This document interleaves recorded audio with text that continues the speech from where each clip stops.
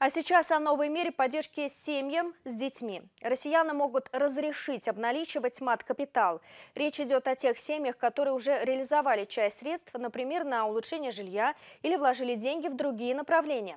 Депутаты Государственной Думы предложат разрешить выдавать до 5% материнского капитала из его остатков наличными, причем независимо от доходов семьи. Наш корреспондент выяснил, как тверские родители распоряжаются материнским капиталом и на какие выплаты на наличными могут рассчитывать. Средства материнского капитала можно реализовать по ряду направлений. Например, улучшение жилищных условий, образование детей, накопительная пенсия мамы, а также адаптация, интеграция детей с ограниченными возможностями здоровья. Однако, по данным Российского пенсионного фонда, большинство родителей предпочитают направить эти средства на улучшение жилищных условий. Так, в 2021 году новыми квадратными метрами обзавелась 741 тысяча российских семей примеру большинства россиян, скорее всего, последует и тверская семья Селезневых. Там подрастают двойняшки Миша и Егорка. Материнский капитал пока ждет своего часа, рассказывает мама Оксана. Вариантов много. Для каждого по-разному. Вот, и как бы и для ремонта подошел бы, чтобы в квартире сделать ремонт. Кому-то побольше жилье.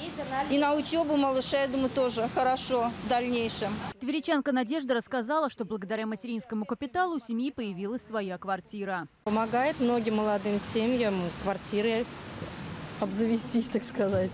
Кому-то кто-то на учебу откладывает детям. В Тверской области, как и в стране в целом, родители предпочитают вложить материнский капитал на приобретение просторного жилья.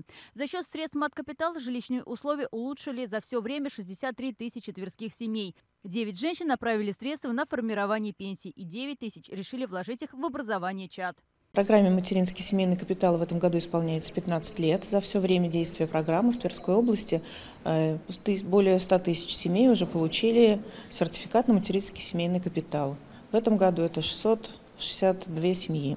С 2020 года процедура по получению сертификата еще больше упростила жизнь родителям. Он оформляется автоматически. На портале госуслуг и в личном кабинете на сайте Пенсионного фонда подается заявление о распоряжении средствами материнского капитала. Вот только деньги на руки родителям не выдаются, а отправляются сразу по назначению. Направляются средства по заявлению э, застройщику или продавцу или образовательному учреждению. Единственное, когда можно получить деньгами на карту. Это ежемесячная выплата из средств материнского капитала тем семьям, у которых родился второй ребенок, начиная с 2018 года.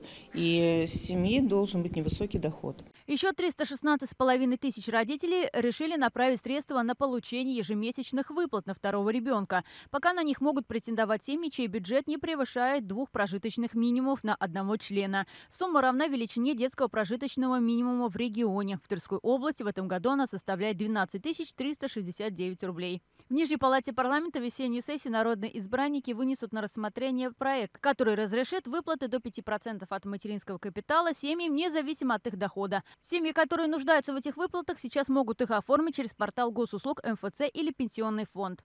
Напомню, что в 2022 году на первого ребенка положена выплата в 524 500 рублей, на второго – 693 100 рублей.